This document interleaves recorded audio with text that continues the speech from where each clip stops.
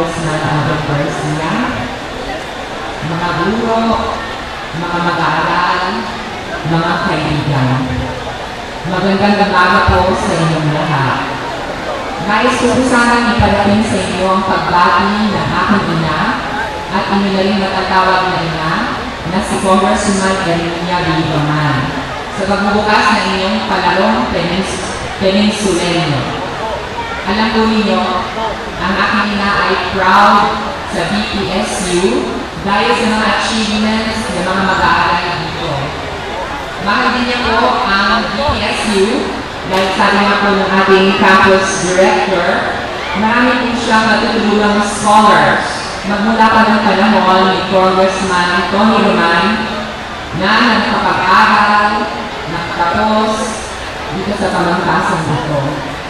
Ganun na lang ang pagpapahalaga ng ating Congresswoman Erminia Roman sa BPSU kung kaya agad niyang pasisimulan ang completion ng fourth floor ng Dinalpihan Campus Building bago matapos ang 2012. Ayan po. Alam niyo po, nakakatagang puso ang masubaybayan at suportahan ang paglago at pag-unlad ng BPSU, lalo na sa pamamagitan ng mga aktibidad tulad nitong intramurals. It is also very heartwarming to see healthy, athletic, beautiful young people engaged in the game of friendly sports. Alam niyo po sa pamilya namin, ang isa sa mga bagay na naisalin sa amin ng aming mga magulang, bukod sa edukasyon, ay ang sports. Si Daddy po, si Tony naman, ay magaling na tennis at golf player, tulad din po ng aking kuya na nasa Amerika. Meron po akong isang kapatid naman nasa Amerika din na basketball player.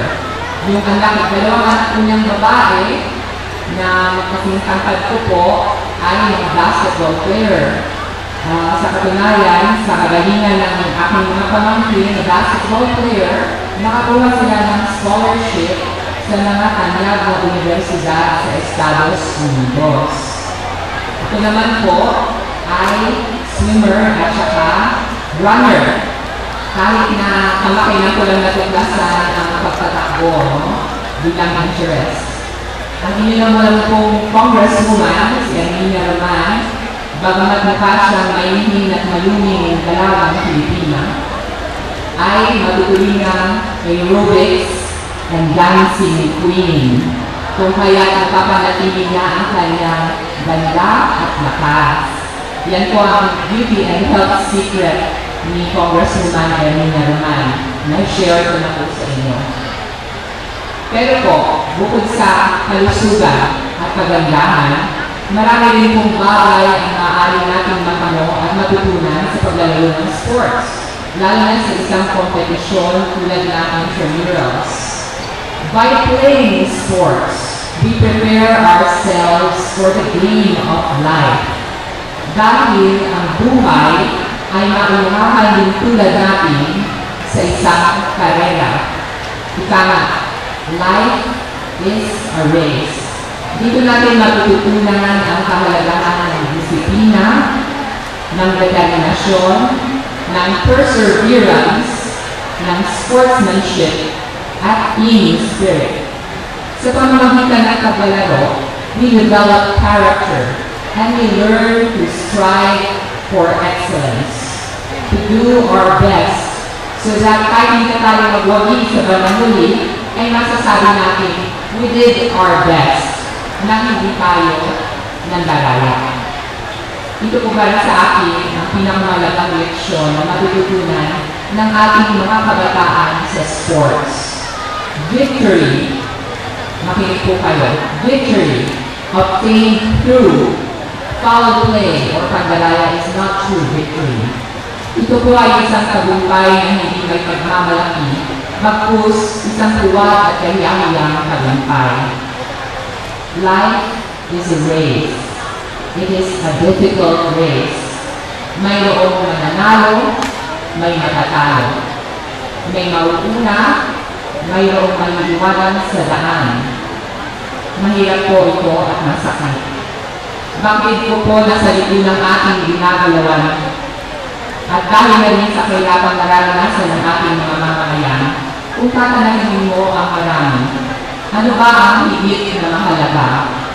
Manalo ka at maglaro o maglaro ng malinis. Marami ang nagsasabing na mas mahalaga ang maging mayaman na negosyante, maging sikat na tao o artista, maging successful professional, to name a few examples. Bakit naman daya?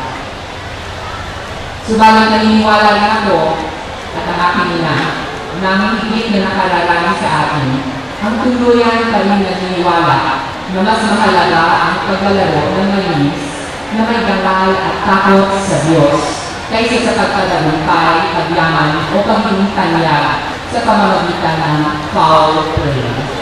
Mga kaibigan, mga minamahal namin kabataan na siya lang tunay na kinabukasan ng ating bayan, the end does not justify the means. I will repeat, the end does not justify the means.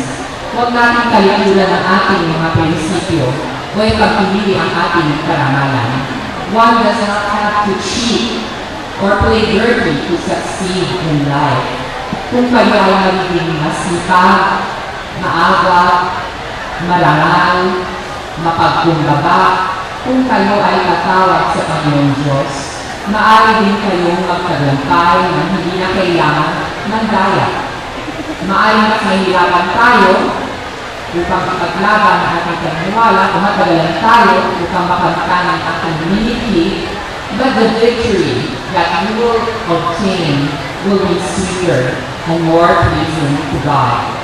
It will be, it will develop your sense of determination, make you stronger and better citizens of our country, and in the end, you will be happy with yourselves na malinis ang inyong konsyensya. At kung sa bandang huli, mga kabataan, ay kayo ay mabigo sa inyong mga minuniti. Dahil sa pinagtatanggol nyo ang mga prinsipyo, ay dapat ninyong malaman na nagwagilin kayo sa pinagmamalaking laban sa inyong, sa pinakamalaking laban sa inyong buhay. Ano po yung pinakamalaking laban sa inyong buhay? What is the biggest challenge or battle in your life? It is the struggle against our own weaknesses, against our own vices. Ito po ang laban natin sa ating mga sariling kahinaan. Ito po ang laban natin sa ating mga sariling bisyo. Laban sa mga tukso at mga katiwaliang kapababa sa ating gamal bilang tao at ang mga maling gawain na humahadlang sa tulay na pag-unlad sa ating bayan. If you win these battles, if you win these difficult battles, if you overcome these challenges, then you become the real champions in the eyes of God and of your fellow men. Mga kabataan, sabi ko nga, life is a race, but it should not be any, any kind of race. It should be a compassionate race driven by love and fear of God. We are all together in this race. Kung kaya, tungkulin natin na magtulungan sa isa't isa at magkaisa tayo. Kung tayo lahat ay magkakaisa sa tama, in the spirit of fair and just play, in the spirit of true service and brotherhood, then the battle is already won. Panalo na tayong lahat, panalo na rin ang ating buong bayan. Kaya mga kabataan, yun po ang gusto para din sa inyo ng aking ina, si Congresswoman Maria Roman. Tanggapin po ang kanyang taus-pusong pagbati at wishes for a very successful intramural. God bless you all. Maraming salamat po.